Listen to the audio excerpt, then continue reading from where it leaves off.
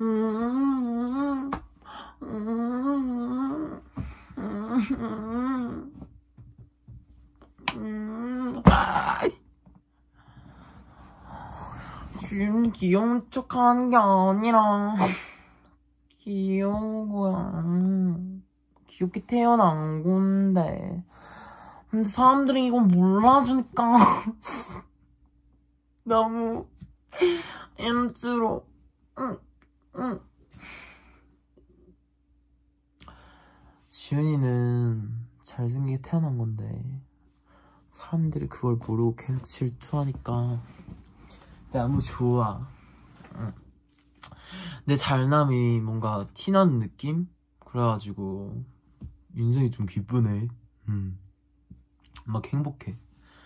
왜냐면 나, 나같이 잘생긴 애들한테는 뒤처진 애들이 약간 좀 멍멍 짖거든.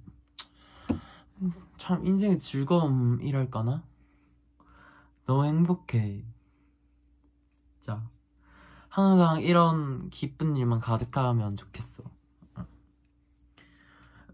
나한테 열등감 느껴주는 거 너무 좋아.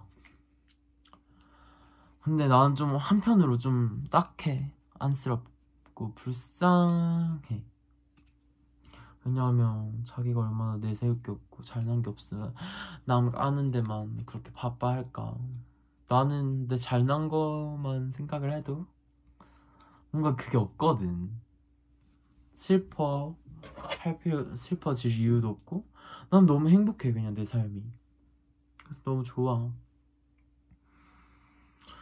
아니 남이 아무리 나를 까도 그냥 나만 나를 안 까면 돼. 아, 난, 난 너무 잘났으니까 그 까는 게 어떻게 보면 칭찬이야. 어. 나를 칭찬하는 것도 칭찬이고 나를 까는 것도 칭찬이야. 왜냐? 걔네들 결핍으로 인해서 열등감을 느끼는 거거든. 열등감은 누구한테 느껴? 잘난 애한테 느끼지. 난 잘났잖아, 맞지? 결론 뭐다? I winner. 승리자.